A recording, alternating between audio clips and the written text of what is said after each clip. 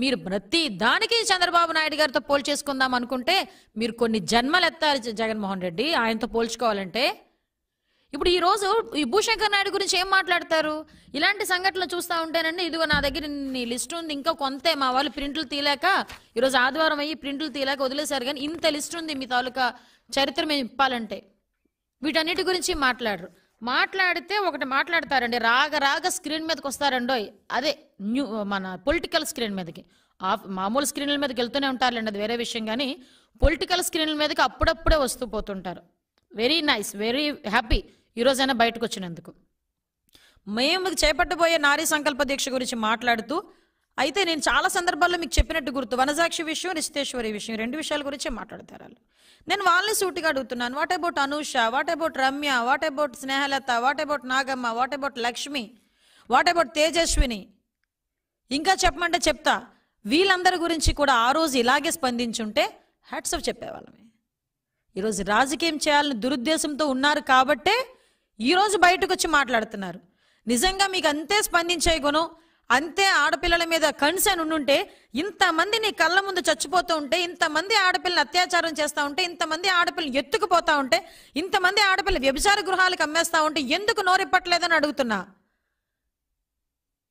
The great chairman chairperson women commission chairperson నిన్న భూశంకర్ నాయుడు విషయంలోని మేము అక్కడికి వెళ్ళి మాట్లాడితే అక్కడ అమ్మాయిని దాచిపెట్టి ఉంచారు ఆ భూశంకర్ అనే వ్యక్తిని వ్యక్తి గురించి ఈరోజు ఎందుకు మాట్లాడలేదు? అక్కడికి ఎందుకు ఎందుకు పరామర్శించలేదు? ఈరోజు ఎందుకు ఇంత పరిగెట్టుకొని వచ్చింది? ఈ సంవత్సర కాలంగా ఈ చైర్పర్సన్ ఏ సంఘటన కూడా నాకు తెలిసి పరామర్శించిన దాఖలాలే లేవే. మరి ఈ రోజు అంత అర్జెంటుగా బయటకు వచ్చి వీళ్ళు మాట్లాడుతున్నారంటే ఇది రాజకీయం కాదా? నిస్సహాయ స్థితిలో ఉన్న హోమ్ మినిస్టర్ దిశ చట్టం గురించి దిశ యాప్ల గురించి దిశ చట్టం ద్వారా ముగ్గురికి ఉరిశిక్ష వేసేసామన్న నిస్సహాయరాలు హోమ్ హోమ్ మినిస్టర్ ఇది రాజకీయం చేయాలనే ఉద్దేశంతో బయటకు వచ్చారు కదా? పోను పోన్లేండి మేమేమనుకుంటున్నామంటే మీరు రాజకీయం చేయాలని బయటకు వచ్చినా ఏ రకంగా బయటకు వచ్చినా ఒక్కసారి బయటకు వచ్చి స్పందించారు. వెరీ గుడ్ మేం చెప్పబోతున్నాం. ఇలాంటి ఆడబిడ్డల గురించి మాన ప్రాణాలు రక్షించాలనే ఉద్దేశంతోనే మేము నారీ సంకల్ప దీక్ష పెట్టాం. రెండున్నర సంవత్సరాలకి మేము మొత్తుకుంటున్నాం. రెండున్నర సంవత్సరాలకి మేము అడుగుతున్నాం. రెండున్నర సంవత్సరాలకి మేము అర్జిస్తున్నాం. ఆడబిడ్డల మాన ప్రాణాలను రక్షించండి రా మహాప్రభో.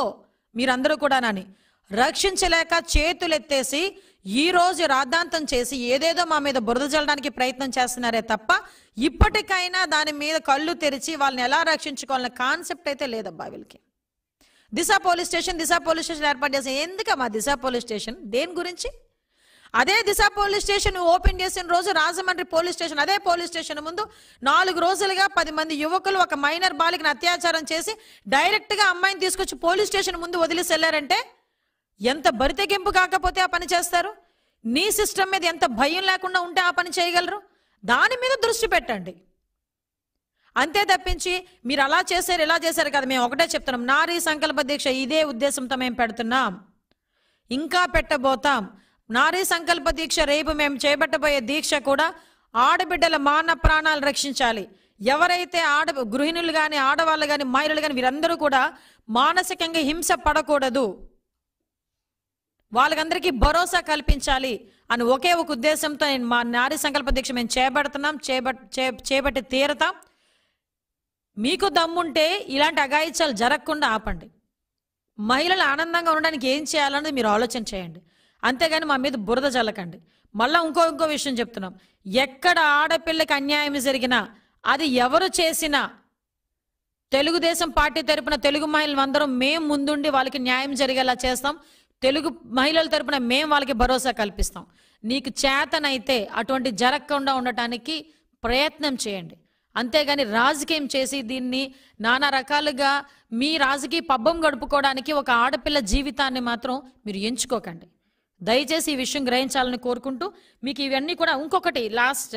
అంటే జగన్మోహన్ రెడ్డి గారు రెండు కో భజన బ్యాచ్ ఈరోజు మాట్లాడుతూ మహిళల విషయంలో చాలా చిత్తశుద్ధితో ఉన్నాం మహిళలను రక్షించేసుకుంటున్నాం అని చెప్పి ఊకదంపుడు ప్రసంగాలు ఇస్తున్న వాళ్ళకి అదేవిధంగా జగన్మోహన్ రెడ్డి గారికి ఒక డిమాండ్ చేస్తున్నాం.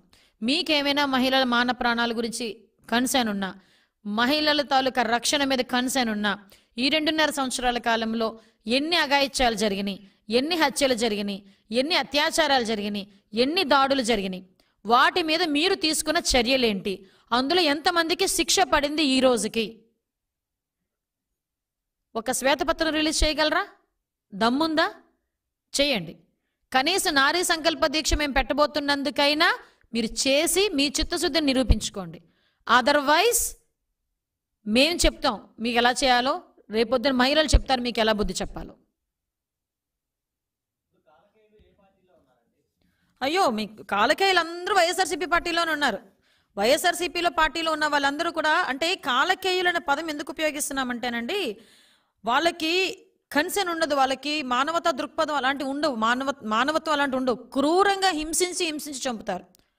అందులో మెయిన్ ఉన్న వాళ్ళు వైఎస్ఆర్సీపీ వాళ్ళే. ఈరోజు ఈ వినోద్ జైన్ వినోద్ జైన్ వెల్లంపల్లి ప్రియ శిష్యుడబ్బా రెండు నెలల క్రితం వరకు వెల్లంపల్లి అనుచరుడు. మా దగ్గర ప్రూఫ్స్ ఉన్నాయి కానీ మీరు రాజకీయం చేయం. ఎస్ శిక్ష విధించండి. ఎవడైనా సరే శిక్ష విధించండి. ఆ కాలకేయులకు కూడా శిక్ష విధిస్తే ఇంకా మంచిది.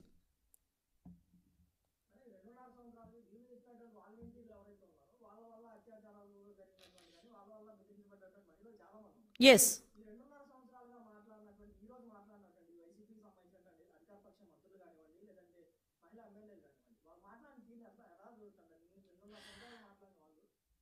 ఎస్ నేను అదేనండి. వీళ్ళు రాజకీయం చేయడానికి బయటకు వచ్చి ఈరోజు మాట్లాడుతున్నారన్న సంగతి మేము మీరు చెప్పడం కాదు ప్రజలందరికీ అర్థమవుతుంది.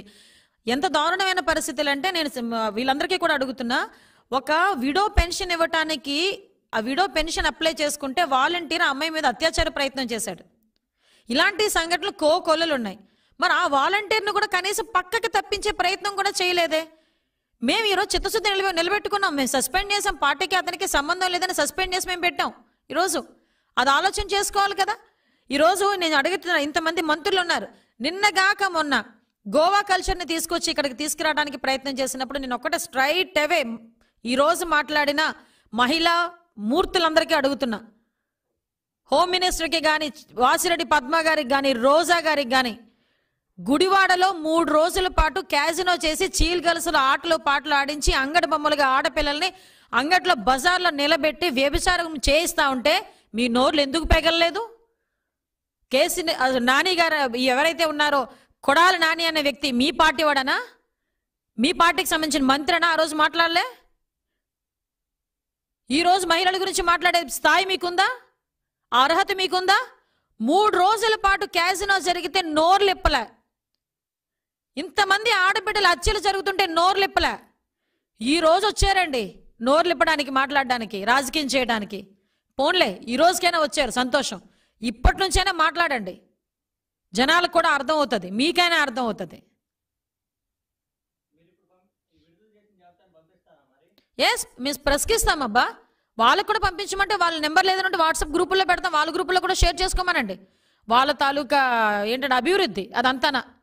వాళ్ళు అలాగే ఫీల్ అవుతారు. ఎందుకంటే జగన్మోహన్ రెడ్డి గారు అన్ని రాష్ట్రంలో నేను ఆదర్శంగా తీర్చిదిద్దుతాను నెంబర్ వన్ పొజిషన్లో పెడతానంటే మా ఎరిబాగులో ఆంధ్రప్రదేశ్ ప్రజలందరూ ఏమనుకున్నారంటే ఏ పరిశ్రమలు తీసుకొస్తాడో ఉద్యోగ అవకాశాలు తీసుకొస్తాడో ఏ ఏమవుతాయో అని చెప్పి చాలా ఈగర్గా వెయిట్ చేశారు. కానీ ఇతగాడు తీసుకొచ్చి నెంబర్ వన్ పొజిషన్లో పెట్టింది ఏందిరా అంటే క్రైమ్ రేట్ని నెంబర్ వన్లో పెట్టారు. అత్యాచారాలు జరగడంలో నెంబర్ వన్ రా దేశంలోకి వెళ్ళా. హత్యలు చేయడంలో నెంబర్ వన్ దేశంలోకి వెళ్ళా. గంజాయి స్మగ్లింగ్లో నెంబర్ వన్ దేశంలోకి వెళ్ళా. డ్రగ్స్ స్మగ్లింగ్లో నెంబర్ వన్ దేశంలోకి వెళ్ళా. అన్నిటికీ మించి ఈరోజు క్యాజినో కల్చర్ని కూడా తీసుకొచ్చి దేశంలో ఎక్కడా లేకుండా గోవా తప్పించి. గోవా తప్పించి ఏ రాష్ట్రం కూడా ఇన్ని సంవత్సరాలైనా అడాప్ట్ చేసుకోలేని చేసుకోని క్యాజినో అనే ఒక విష సంస్కృతిని కూడా ఆంధ్రప్రదేశ్లో తీసుకొచ్చిన మొట్టమొదటి ముఖ్యమంత్రి జగన్మోహన్ రెడ్డి. మీరు బర్తరఫ్ చేయాలి సస్పెండ్ చేయాలి న్యాయం చేయాలి అని మీరు మాట్లాడితే మొట్టమొదటిగా బర్తరఫ్ చేయాల్సింది సస్పెండ్ చేయాల్సింది జగన్మోహన్ రెడ్డిని. ఇంతమంది ఆడపిల్లల మాన ప్రాణాలు కూడా పోతున్నా కూడా నిమ్మక నీరెత్తకుండా కూర్చున్న జగన్మోహన్ రెడ్డిని బర్తరఫ్ చేయాలి ఫస్ట్.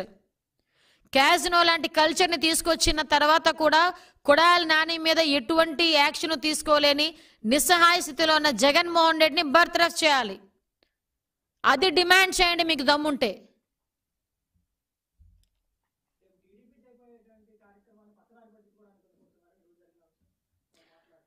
ఇది రాబందుల రాజకీయం అబ్బా. నేనేమంటానంటే ఒక ఆడబిడ్డ మీద అఘాయిత్యం జరిగింది. అమ్మాయిని ఇబ్బంది పెట్టాడు. అమ్మాయి సూసైడ్ నోట్లో పెట్టుకుంది. ఒక వ్యక్తి వల్ల చనిపోయింది అన్న తర్వాత ఆ వ్యక్తిని ఎలా శిక్షించాలి? ఆ వ్యక్తిని మనం ఎలాగా పట్టుకోవాలి? ఎలా శిక్షించాలి? ఫర్దర్గా జరగకుండా ఎలా చూసుకోవాలన్నది అడ్మినిస్ట్రేషన్.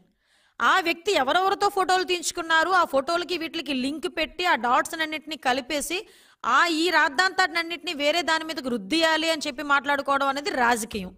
దీన్ని బట్టి అర్థం చేసుకోండి. ఎవరు రాజకీయం చేశారు? ఎవరు అడ్మినిస్ట్రేషన్ చేస్తున్నారు?